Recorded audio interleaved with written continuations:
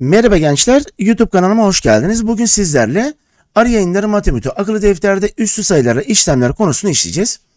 Arkadaşlar konumuza geçmeden önce kanalıma abone olur ve videoları beğenirseniz çok sevinirim. Evet üstü sayılarda işlemler nelerdir arkadaşlar? Nasıl yaparız? Kurallarımıza bakalım. Evet üstü sayılara toplama işlemi yapılır arkadaşlar. Yapılabilir. Şimdi üstü sayılarda toplama işlemi yapılırken genellikle üstü sayıların değerleri bulunur. Çok büyük veya çok küçük sayılarda ise ortak üstü sayıların kat sayıları toplanır. Arkadaşlar bir örnek 1'e bakarsam bakın 2 üstü eksi 1 ile 3 üstü eksi 1'e önce değerlerini bularak topladık. Sonucu 5 bölü 6 oldu. Peki çok büyük ve çok küçük sayılar dediğimiz 8 çarpı 7 üstü 18 ile 2 çarpı 7 üstü 18'i toplayacağım ve 5 çarpı 7 üstü 18'i çıkaracağım. Arkadaşlar burada dikkat etmemiz gereken en önemli nokta ne? Üstü sayının tabanı ve üstü aynı olmak zorunda. Eğer taban ve üst aynı ise önündeki katsayıları toplar veya çıkartırız diyoruz. İşlemimiz neyse aradaki işlem ona göre işlem yaparız. Eğer taban veya üst aynı değilse taban veya üstü aynı hale getirmeye çalışacağız. Devam ediyorum. Üstü sayılara çarpma işlemi yapabiliriz. Çarpma işleminde arkadaşlar tabanlara eşit olan üstü sayılar çarpılırken ortak arkadaşlar tabanda ortak tabanda üstler toplanır. Eğer tabanlar aynıysa üstleri toplayarak ortak üssün üstüne yazarız. Üstleri eşit ise üstü sayılar çarpılırken ortak kuvvete tabanlar ortak kuvvete tabanlar çarpılır diyoruz. Şimdi tabanları aynı. Bakın 5 üstü 4 ile 5 üstü 3 tabanları aynı. O halde üstleri topladı. 4 artı 3 5 üstü 7 oldu. Üstler aynı iken tabanları çarpıyorum. 2 çarpı 5 10 üssü ortak üssü aynen 10'un 6. kuvveti olarak yazıyorum. Evet üssü sayılara bölme işlemi yapılabilir diyoruz. Tabanlara eşit olan üssü sayılarda bölme işlemi yapılırken ortak tabanda tabanlar aynıysa ortak taban üstünde arkadaşlar bölünenin üstünden bölenin üstü çıkarılır. Eğer üstler eşit ise ne yaparım arkadaşlar? Üstü sayılarda bölme işlemi yaparken ortak kuvvette kuvveti ortak olarak yazacağım ama tabanları birbirine bölünür diyorum. Şimdi örneği inceliyorum. Bak 7 üstü 4, 7 üstü 3'e bölünürken tabanlar aynı. O halde üstleri çıkarıyorum. 4'ten 3 çıkardım. 7 üstü 1 olarak yazdım. Şimdi kuvvetler aynı. 6 üstü 10 ve 2 üstü 10 da kuvvetler aynı. O halde 6'yı 2'ye bölüyorum. Sonuç 3'tür. 10 kuvvetini de aynen üzerine yazıyorum. Eğer arkadaşlar taban veya üst aynı değilse taban veya üst aynı hale getirilir diyoruz. Evet etkinliklerime geçiyorum. Evet, birinci etkinlikte benden ne istiyor? Aşağıda verilen işlemleri yapmamızı istiyor. Arkadaşlar toplama ve çıkarma işlemlerini eğer bulabiliyorsak öncelikle değerlerini yazıyorum. 2'nin dördüncü kuvveti 16 artı 3 üstü 0 1 eksi 4'ün birinci kuvveti 4'tür. Şimdi toplama ve çıkarma yan yanaysa toplama önce yapıyorum. 16 bir daha arkadaşlar 17 4 çıkardım. 13 olur işlemimizin sonucu. Evet B'ye baktığımız zaman arkadaşlar öncelikle kuvvetlere bakalım. 5'in karesi 25. Eksi. Eksi 3'ün 3. kuvveti 3 tek sayıdır.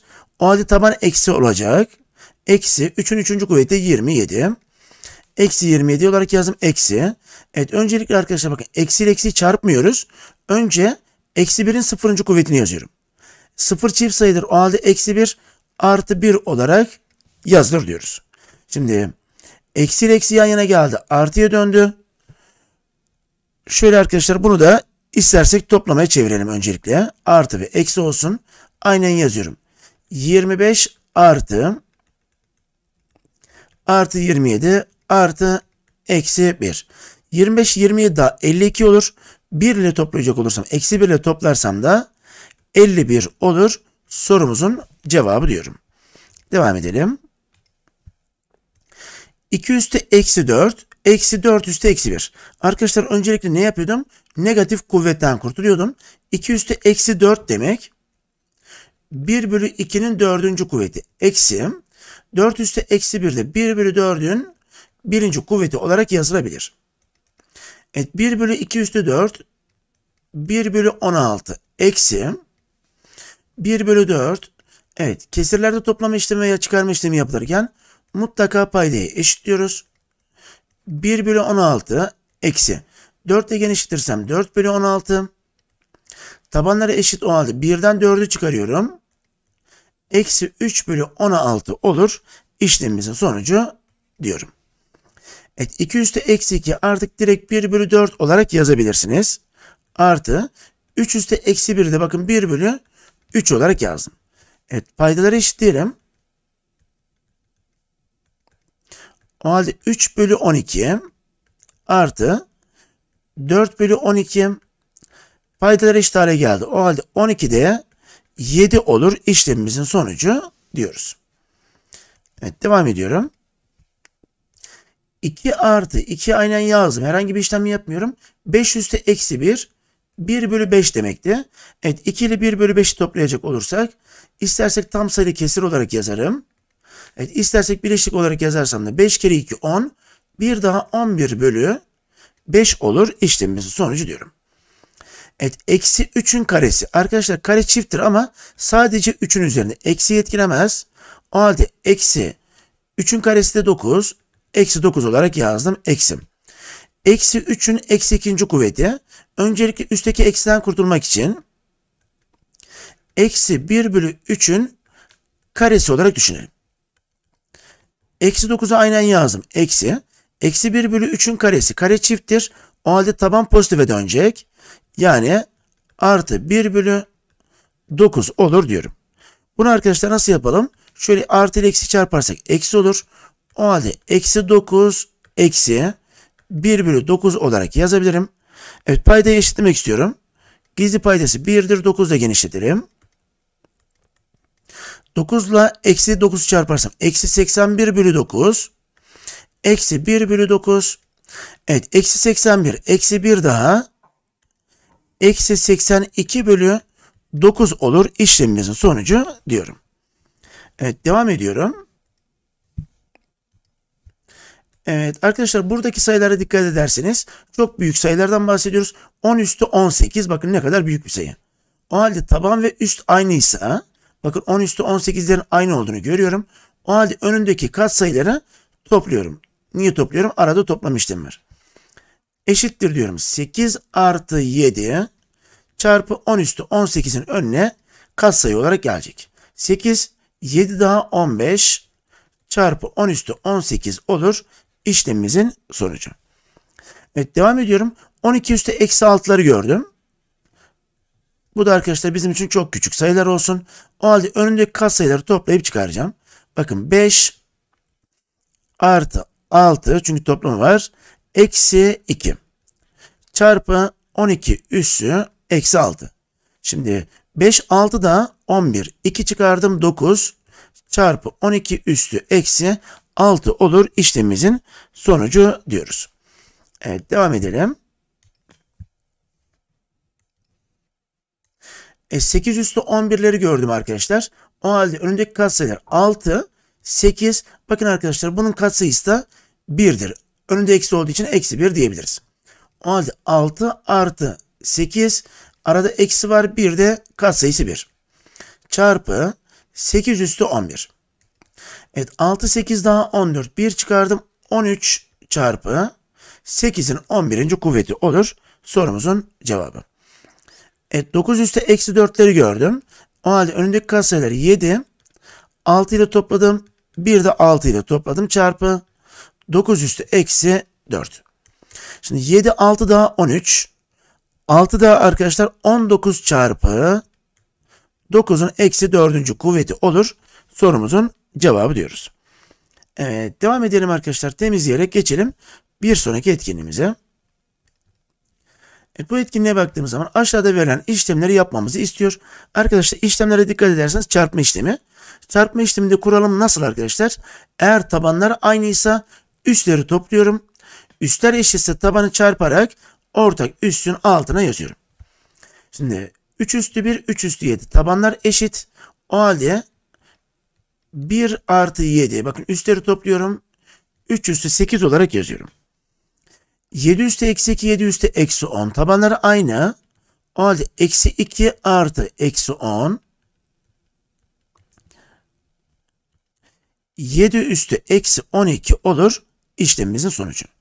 Evet tabanlarımız aynı. 8 ve 8'i gördüm.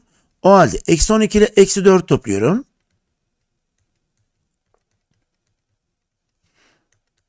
E 8'in eksi 12 ile eksi 4 toplarsam eksi 16. kuvveti olur diyorum. Evet devam ediyorum. Tabanlarımız 2 arkadaşlar. O halde üstleri toplayacağım.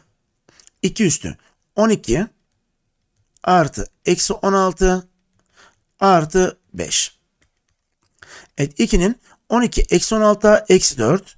5 ile toplayacak olursam da 1 olur.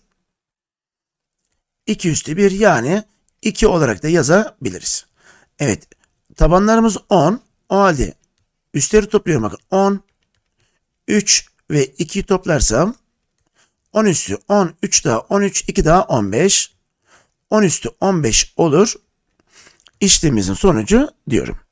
Evet tabanları 8 gördüm arkadaşlar. O halde üstleri toplayalım. 4 artı eksi 10 artı eksi 10. Eksi 10 ile eksi 10'u topladım. Eksi 20. 4 ile toplarsam eksi ne olur arkadaşlar? Eksi 20. 4 ile toplarsam eksi 16 olur diyorum. 8 üstü eksi 16. Evet 16 biraz daha düzgün yazalım.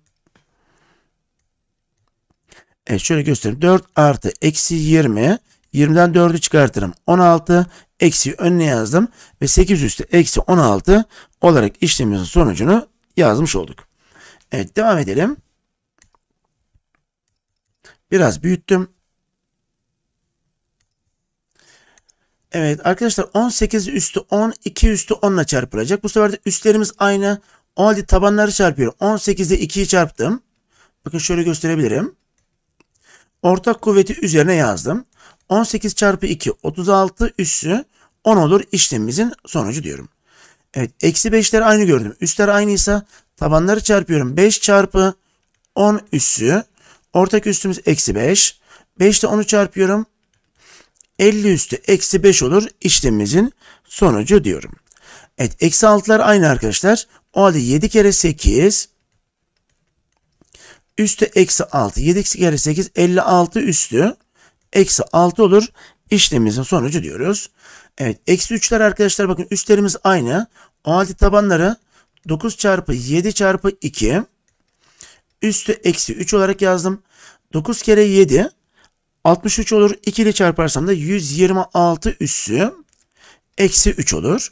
Evet kuvvetlerimiz 8 arkadaşlar. O halde 5 çarpı 10 çarpı 1 üssü 8.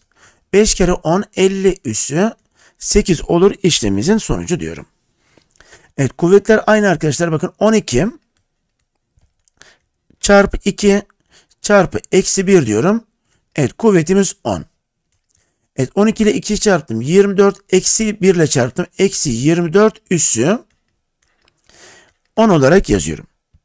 Evet. İstersek arkadaşlar bakın 10 çift olduğu için bunu 24 üssü 10 olarak da yazabiliriz. Evet devam edelim. Evet, üçüncü etkinliğe baktığımız zaman aşağıda verilen işlemleri yapalım diyor. Arkadaşlar burada ne yapmam gerekiyor? Ya tabanları ya da üstleri aynı hale getireceğim. Veya 4'ün 4. kuvvetinde bulabilirsiniz ama biz burada üstü sayılar konusunu anlatmaya çalıştığımız için o halde öncelikle tabanları eşitlemek istiyorum. 4'ün 4. kuvvetinde tabandaki 4 demek 2'nin karesi demektir. Bakın 4 yazdım. Kuvveti 4 çarpı 2 üstü 3. Şimdi biz neyi biliyoruz? Üstün üstünde üstler çarpılır. O halde 2 ile 4'ü çarparsam 2 üstü 8 çarpı 2 üstü 3'tür. Şimdi tabanlar aynıysa üstleri topluyordum. 8 artı 3'ten 2 üstü 11 olur işlemimizin sonucu diyoruz. Evet 100'ün ikinci kuvveti 10 üstü eksi 3 ile çarpılacak. Arkadaşlar 100'ü onun karesi olarak yazdım. Karesi çarpı 10 üstü eksi 3. Evet üstün üstünü çarparsam 10 üstü 4 çarpı 10 üstü eksi 3. Evet tabanlar aynıyken üstleri topluyorum. 4 artı eksi 3 ne olur arkadaşlar? 10 üstü 4 ile eksi 3'ü toplarsam 10 üstü 1 olur. Bunu da istersek 10 olarak yazabiliriz. Evet 25'in dördüncü kuvveti arkadaşlar 5 üstü eksi 3 ile çarpacağız. 25 5'in karesiydi. Üstü 4 çarpı 5 üstü eksi 3.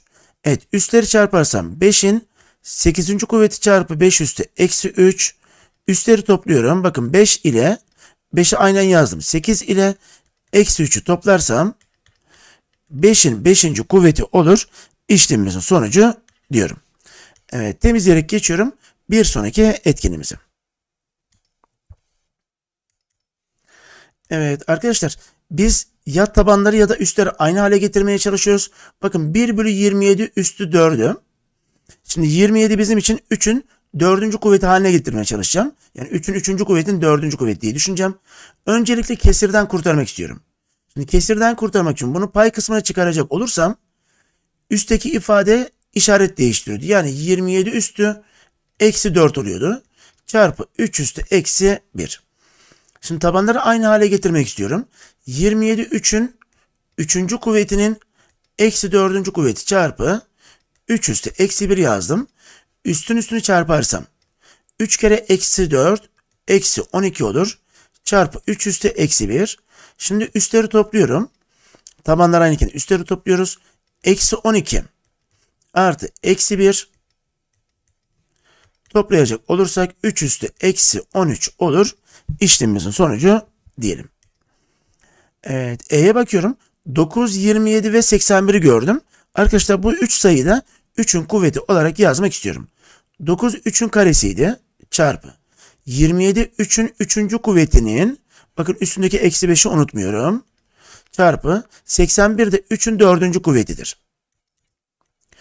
3'ün 2. kuvveti çarpı.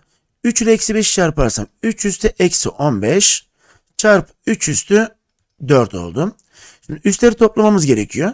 2 eksi 15 ve 4 toplarsam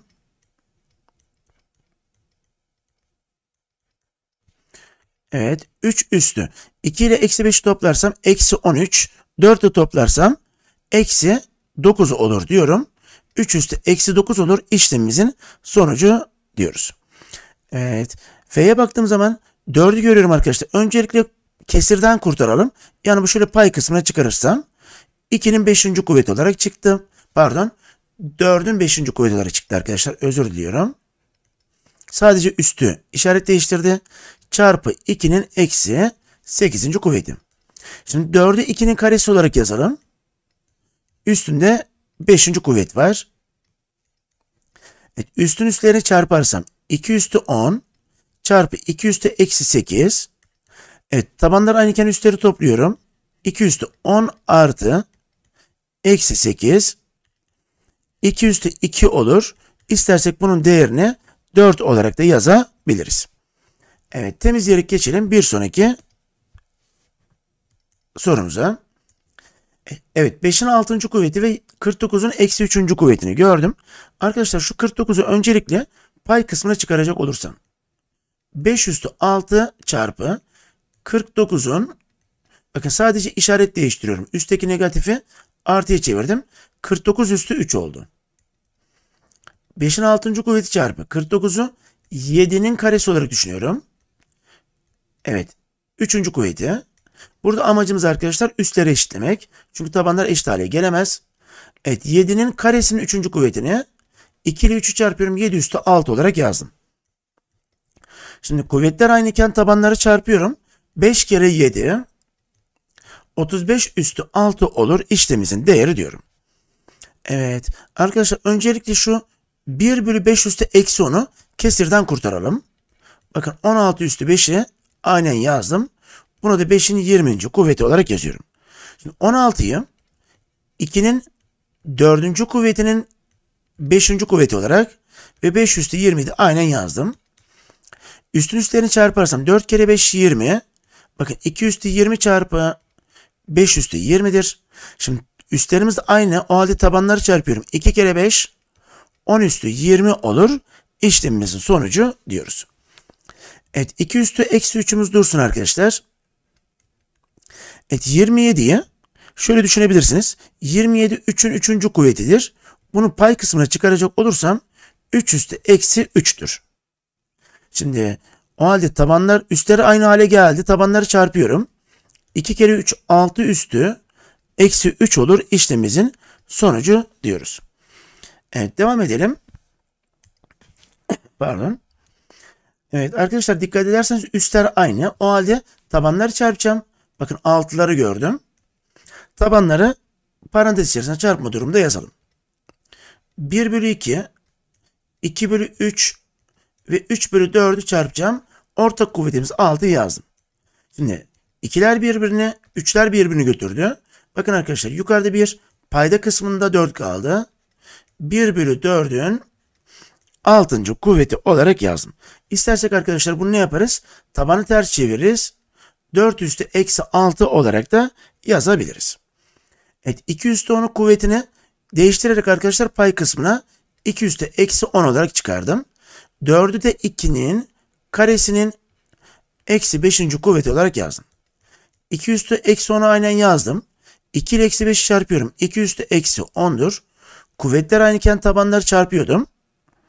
Veya tabanlar aynıysa kuvvetleri topluyorum. Sonuç değişmez gençler. O halde 2 üstü eksi 10 artı eksi 10. Evet 2 üstü eksi 20 olur. İşlemimizin sonucu diyoruz. Evet 16, 4 ve 8'i 2'nin kuvvetleri olarak yazalım. 16 2'nin 4. kuvvetiydi. Üstü eksi 2 çarpı 4 2'nin karesi üssü 3 çarpı 8 2'nin 3. kuvveti kuvveti eksi 5. Şimdi üstleri çarparsak 2 üstü eksi 8 2 üstü 6 ve 2 üstü eksi 15 oldu. Şimdi kuvvetlerimiz aynı pardon tabanlarımız aynı hale geldi. Evet kuvvetleri toplayacağım. Eksi 8 artı 6 eksi 15. Evet bunları arkadaşlar toplarsam 2 üstü eksi 17 olur işlemimizin sonucu diyorum. Evet arkadaşlar bu soruyla da dersimizi burada bitirelim. Kalan sorularımızı bir sonraki videoda çözeceğiz. Bir sonraki videoda görüşmek üzere. Kendinize iyi bakın. Hoşçakalın.